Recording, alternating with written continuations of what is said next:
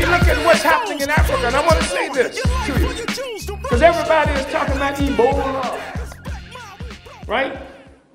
And you look at Africa, few people dispute the fact that human life originated in Africa. Few people dispute that. Yet you look at Africa, you find it disease ridden, you find famine, hostile nature, etc. It appears. It doesn't make any sense. Because if human life originated in Africa, if we know nothing else, Africa is not hostile to life. Africa embraced life like no other continent, no other place on earth did embrace life. Which is why I started there. Between the four short years, and I talk about this all the time, 1347 and 1351, half the white people on earth died of plague. Black plague, they called it. And we innocent. OJ did it. Half the white people on earth died of plague.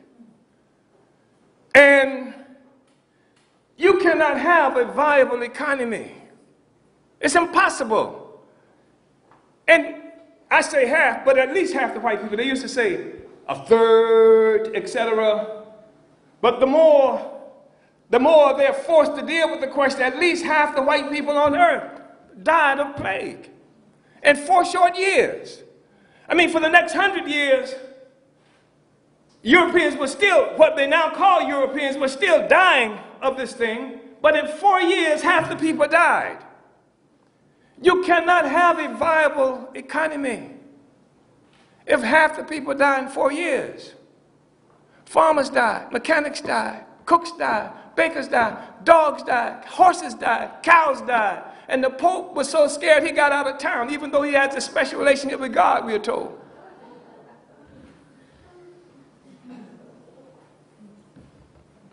And Europe ends up rescuing itself through venturing out, slavery, going to Africa, kidnapping black people, going around the world, China, the aggression in China and various other places, to what they now refer to as the Americas. Europe cured itself. The plague is no longer there. But the places where Europe went to, where there were resources and continue to be resources today, the parasite latched on to them. The parasite became before Ebola. The parasite was European capitalism, European imperialism. That's what's killing black people all around the world. It's a parasite. It's a parasite. So now Europe and Europeans are well off. Like a lot of people like to run around talking about, we are the 99% my ass.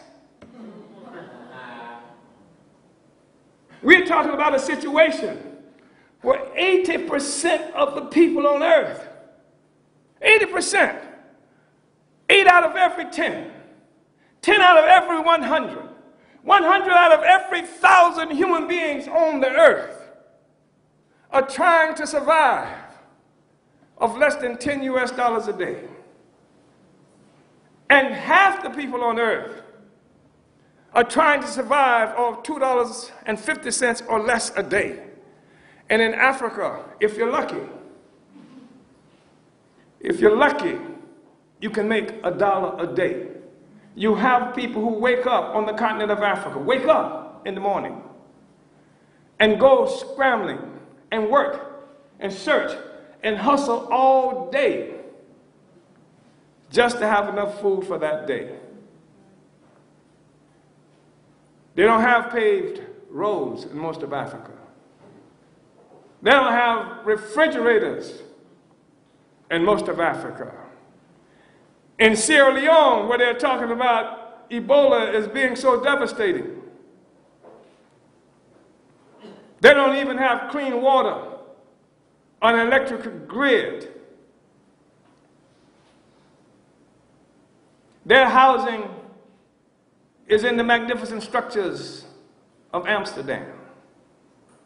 Their food is in somebody's refrigerator in Europe and North America. Their paved streets, you'll find them in Tampa and in Manhattan. That is the reality of the world that we live in today. And we're saying it doesn't have to be like that. But the narrative has to be changed. And I'm also saying right now that I recognize that the discussion that we're having is coming from a minority position, even in the African community. There are people who will rock you to sleep, who will tell you everything's all right. It's going to be all right. All you got to do is just hold hands and sing this right song or pray this right prayer. They'll tell you this. And it, it's a relief. A lot of people won't come to this meeting because you hear what you're hearing now. And they'll go to that other meeting, but sooner or later, sooner or later, you're going to have to hear